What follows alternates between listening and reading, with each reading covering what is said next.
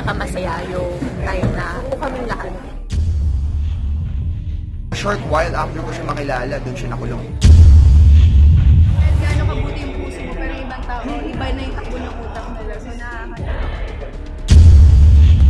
Sa sukatan ng buhay, huwag mo sukatin yung yaman at hirap. Sukatin mo yung totoong friendship na pwedeng maibigay ng isang tao. Kung kaya mong mabuhay sa tundo, kaya mo ring mabuhay saan man sa mundo. Morley Alinio. Ito ang Tundo.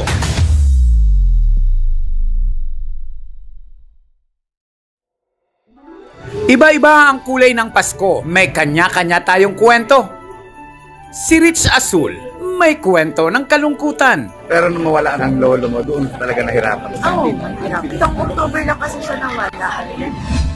At si Paulo Gumabaw, isa lang ang wish niya ngayong araw ng Pasko. Ito ay ang makapiling niya ang kanyang ama na matagal nang nasa kulungan. Sino, sino bang anak ang ayaw makasama ng tatay niya sa Christmas?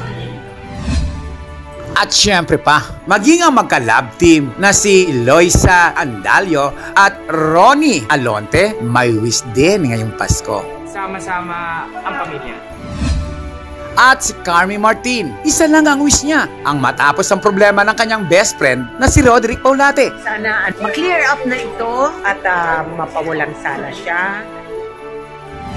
Maging si Joey De Leon, umaasa rin ng isang magandang Pasko para sa lahat. Masaya lahat at malayo sa sakit. Maging si Direk Paul Soriano, isang masaya, maaliwalas at puno ng pag-ibig ngayong Pasko. It doesn't matter where you are as long as with your family and your loved ones. Si Tony Gonzaga, isang masaya at buong pamilya ang wish niya sa darating na Christmas. Kasama pa rin kami pamilya.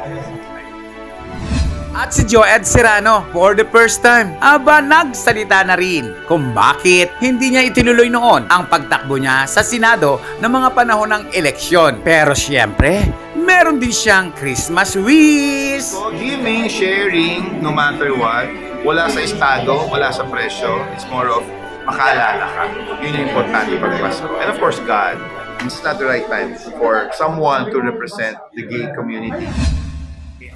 Rich, ano na nabago sa takbo ng buhay mo ngayong uh, kasal ka namin? Kasama ka na. Noong una, nahihirapan ako. Minsan nga umiiyak ako dahil miss ko na yung kapatid ko, miss ko yung pamilya ko. Naintindihan naman ako ni Alan, so lagi niya ako pinapauwi pa rin. Yan yung nagustuhan ko rin sa kanya. Lahat ng bagay, supportado niya ako.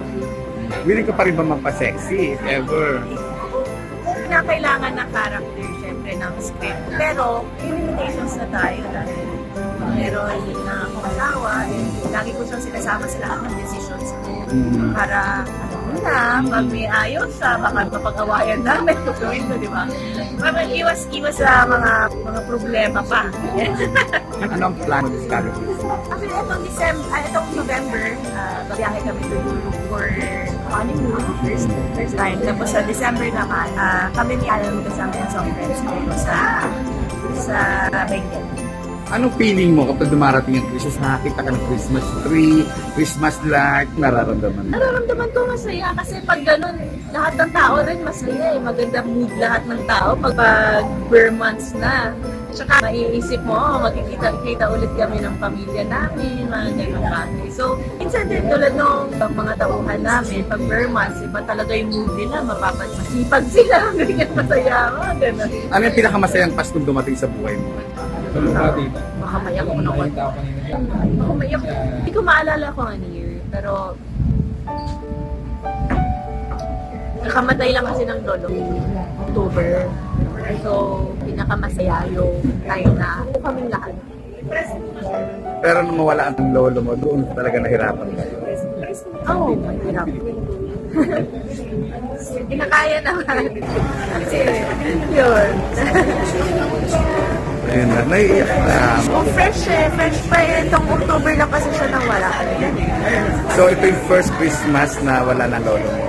Na nag-alaga sa'yo, of course. Ah, kaming lahat kasi magpipinsan lumaki sa kanya. So, close sa kanya. Sobrang buti niyang lolo. Uh, maswerte kami na namit namin siya. Nakikipaglaro pa siya sa amin. Lahat, lahat. ah, Suportado siya sa lahat ng, ng desisyon namin sa buhay. Tapos, natutuwa nga ako sa kanya dahil nung dumating si Alan sa buhay ko, inurin na niya talagang ako agad. So, ayun. Baka last, pwedeng batiin mo ang lolo mo ng Merry Christmas this coming Christmas. Kahit wala na siya. Oh, hirap to.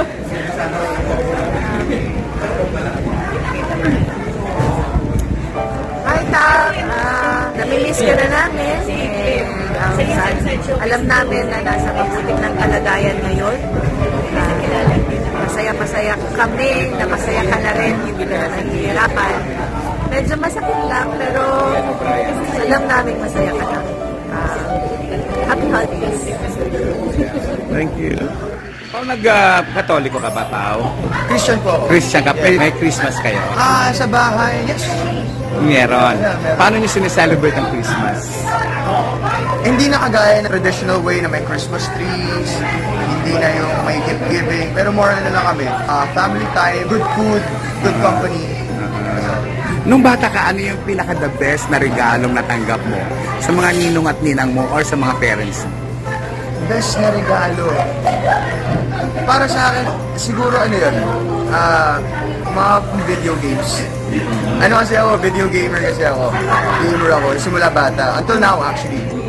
Ah, yun, PS2, PlayStation 2. My dad got me a PlayStation 2 before. So ano reaction mo nung matanggap mo yung regalo na yun? Tuwan-tuwa ako kasi nung time na yun, hindi pa ganun ka-accessible yung video games eh. That was what? I was around 8 years old, 7 years old.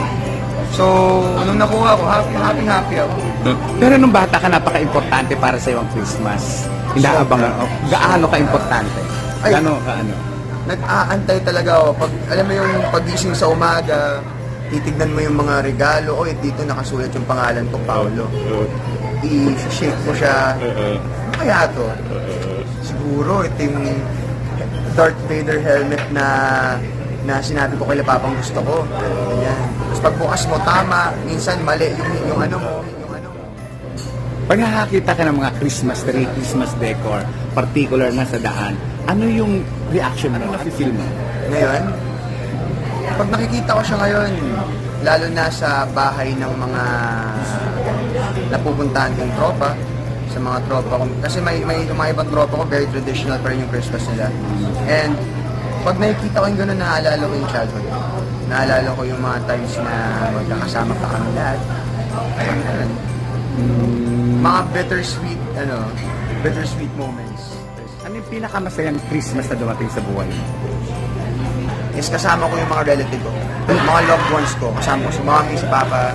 Experience mo ba na mag-celebrate ng Christmas with Dennis, your father? Never. Pero gusto mo, Gusto ko. plano mo, pangarap mo. Pangarap. Bakit?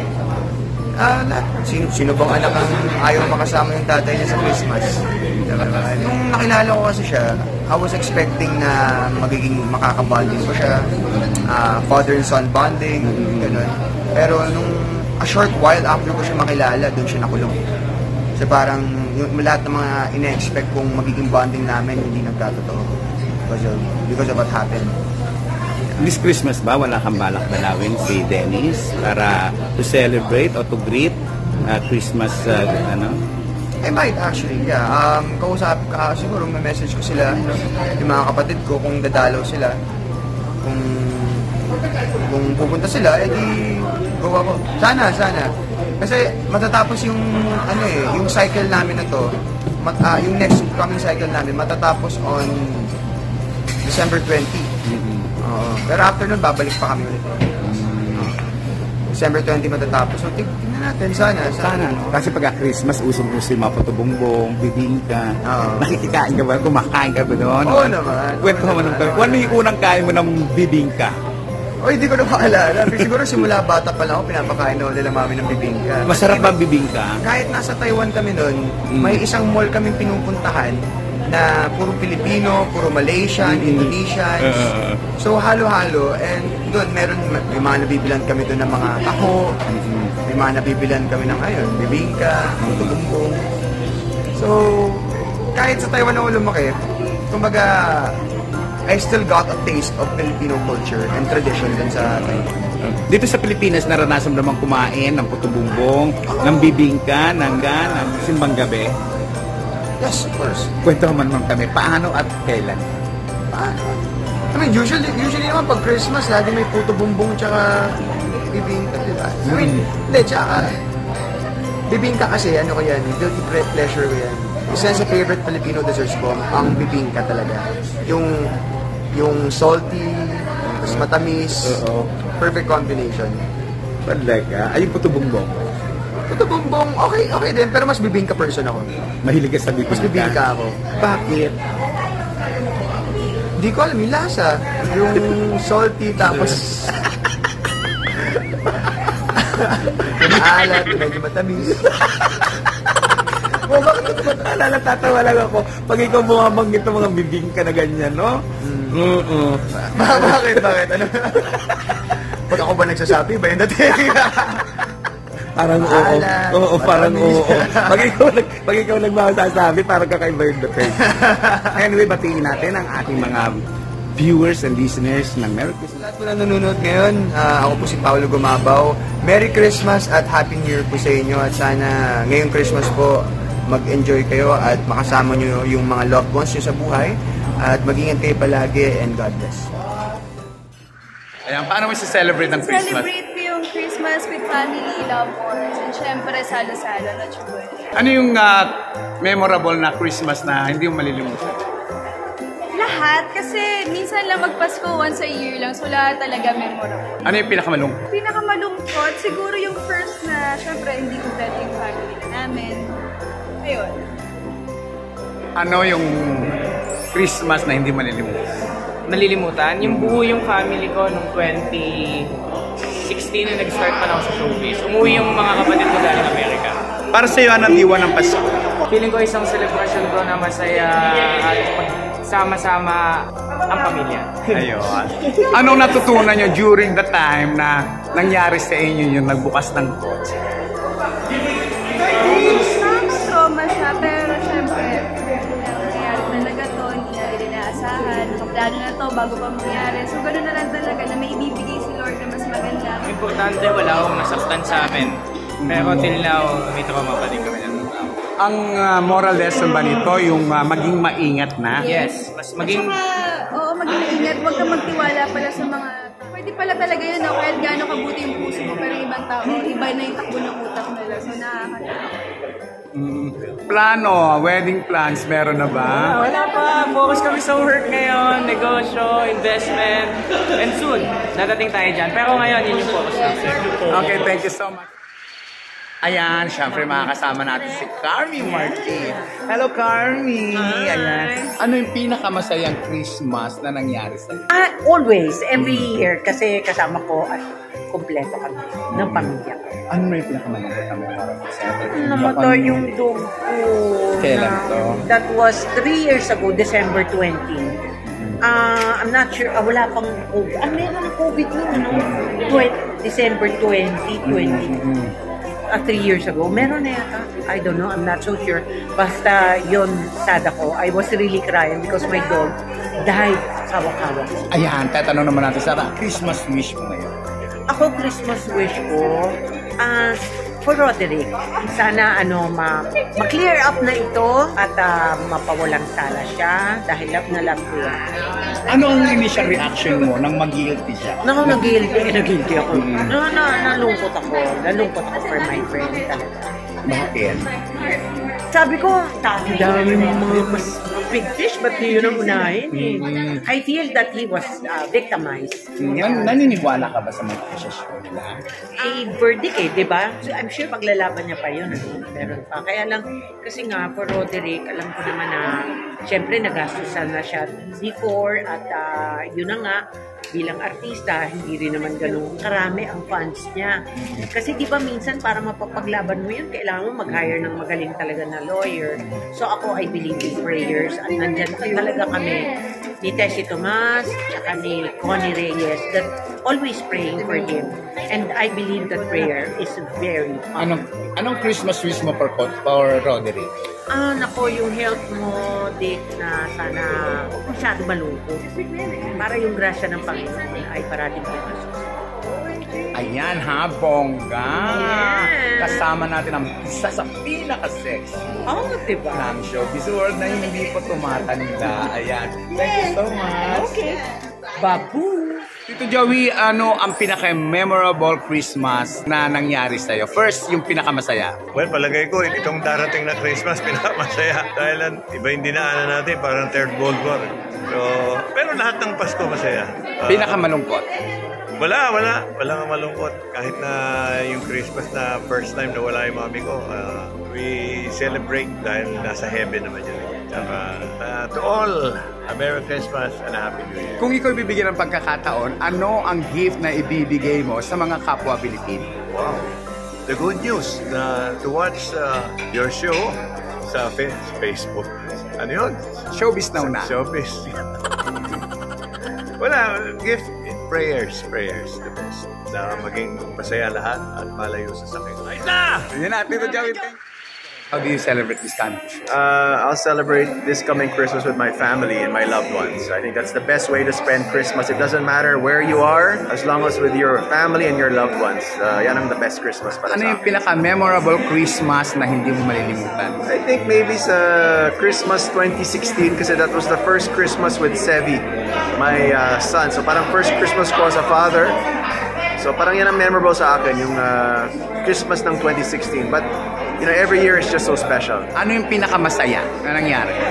For me naman talaga masaya ka basta kasama pamilya. eh. Yung isang Christmas pupunta kaming Japan, yung isa nag-beach, masaya dun kasamang pamilya ko eh. So it doesn't matter again where you go, as long as you're with your family and your loved ones, yan ang the best Christmas para sa akin. Pinakamalungkot na rin. Uh, I guess when I was in college, you know, kasi I was alone uh, in the US, and I studied, no? So baka yun, when I was uh, studying, I wasn't with my family, I had to stay uh, in the US for Christmas, no? So yun, maybe if I can think of something. Thank you, Direk. Thank you. Kami si-celebrate ang Christmas. Dito lang kami sa Pilipinas. Jojo Papasko. Masaya ang Pasko sa Pilipinas. Pinaka-memorable na Christmas. Ah, year 2000. Ano yun? Bakit? Wala kami handa. Tulog kami. Ang Yan. budget. Nangyari. Nakita ko dito. Happy naman kasi Once we mentioned earlier. nakasama pa rin kami pamilya. Ayun. And New Year, how about New Year? Dito lang. Lahat pasok actually. Romel, you. Paano mo si-celebrate ang Christmas this kind? Ako with my inaanak, pero I'll celebrate it with you first. Kasi kailangan kong ibalik yung nirigalo sa akin ng PMPG as Darling of the Press. Bago man lang magpalit ng bagong Darling of the Press, eh, tapusin ko muna yung pagiging reyna ko. So, Paano, Joanne, um, ah, ano sa'yo ang diwa ng Pasko? Para sa'yo, giving, sharing, no matter what, wala sa estado, wala sa presyo, it's more of makaalala ka. Yun yung importante pag Pasko. And of course, God. Uh, thank Him for all the blessings. Number one siya talaga. At ang sikreto ng buhay, you just really have to thank God every day and uh, be like a bird. Di ba ang bird, ang ibon, kahit lang sa dadapo, wala naman di magtatrabaho yun, di ba? So, just like that, miracles do happen every day. dagdag ko lang kanina kasi napag-usapan at binalikan yung nakaraan, yung bigla mong pag-withdraw sa Senado. Sa Senado. or- Sa Senado. Ano ang rason? Kasi na-realize ko, maraming kanya-kanyang, I mean, kahit, kahit, kahit mga third sex o mga gay, hindi na nagkakaisa. May kanya-kanyang puro-puro. So, parang ang sa akin, parang it's a waste of effort and time na magpakinggan ko sila at magkaisa. Eh, sila sila hindi naman nagkaisa. So, this is not the right time for someone to represent the gay community kasi nga, may kanya-kanya silang paninindigan at paniniwala. So, ang sa akin, manahimik muna. I mean, wala namang problema eh. So, I can I can still uh, help in my own little way. Even hindi ako sa public office. Pero may bala ka pa soon pumasok Siguro sa politika. mag-mayor na lang sa sa lugar namin sa Tarlac. Pero national, wala. Ang gusto ko lang naman talaga kasi may magawa ako, may kung ano yung nagagawa ko sa showbiz, baka may magawa ako, may ma maiambag ako sa politika, kahit na sa maliit na lugar lang. Joed, ba't bigla kang nawala sa showbiz? Kasi yung inaanak ko, yung anak ng ex ko, sobra akong napamahal. And the magic of being a father, well, as a godfather, nandoon. So, iniyakan ko siya pag umalis ako. Lalo na nung ano, nung biglang nag I love you. I love you, Nino. To be very honest, as a gay, um, ang napaka-unconditional nung love or nung sinasabi ng bata. Joed, isang direct ang tanong kasi sinasabi na ang pagkawala mo raw in showbiz, parang nalugi ka, naubos ang pera mo, nagkautang-utang ka. Yung pagkalugi, hindi. Kasi alam naman natin yung uh, na-pirate yung anak ng macho dancer. And then after that, despite of na-pirate yun, nagkontrabida pa rin ako. Nagmamadali akong kumita, pinalabas ko na sana si kontrabida. But no, it's the right timing eh. And I'm also an artista, so I want the best for Ate Guy. So right timing siya, kinasasabi ka ng tao panurin pelikula na which nanalo nga sa Film Fest ng Best Asian Film. Sa pambirada na kung saan sinasabi, may mga kasosyo ka raw na bumitaw sa'yo dahil karoon ng problema sa pera. Hindi. Ang totoo niyan, for two years na pandemic, yung concerts namin na dapat pinalabas na kung hindi nag-pandemic, hanggang ngayon yung pera namin nandun sa mga artistang yun, sa mga international stars. Naka-hold. Two years. Buti sana kung pesos ang pinag-uusapan. These are all dollars. So, in terms malulugi, hindi ka malulugi. Kumbaga, ipit yung pera mo na dapat kumita na sana. But, walang bumitaw. We just waited uh, until ngayon, until next year. Ito na yung masakit. Nag-risked. Isa na yung sole, hindi siya sole. Hawak pa rin nila. Yun yung problema sa international uh, concerts. Talagang pahabaan ng visit talaga. So, maraming naka-reserve, hindi pa lang nababalik. Walang pwedeng kumalas na partner kasi lugi sila pag kumalas sila. Pare, pare, pareho lang kami nag-invest and we just really have to wait. Kaya nga itong kay ate, kay Tony, nung in-offer sa akin, go, grab. Diba? So, grab lang ng grab hanggat may opportunity. Kay Ate V and kay Nora, ano ito? Ano itong plano mo? Uh, it, the movie titles Mare. Pero it's two characters yun, Maria at Remedios. So it's a story of two kumares. Tama-tama sa... Kasi doon na sa bidding. Uh, may, may problema ba sa bidding? Di ba may end naman? Ate Guy said yes. So, si ano na lang, si Ate B. But of course, this is under Direct Brillante Mendoza. What the story behind the story? The story is all about them being kumare. Yung isa may kaya, yung isa wala. Itong isa laging humingi ng saklolo dun sa may kaya. Until one day, uh, yung may kaya, yung apo niya na kidnap, ang pwede ang hindi niya akalain na itong kumare niya ibibigay yung life para lang ma-save yung bata. So, sa sukatan ng buhay, huwag mo sukatin yung yaman at hirap. Sukatin mo yung totoong friendship na pwedeng maibigay na isang tao. Iba't ibang kwento, iba't ibang mukha ng Pasko. Pero ang tunay na Pasko, pagpapatawad, pagmamahal, pagbibigay, at higit sa lahat, pagrespeto sa kapwa. Iyan ang Pasko! Merry Christmas po sa inyong lahat! Kung kaya kaya mo ring mabuhay saan man sa mundo. Morley Alinio. Ito ang Tundo.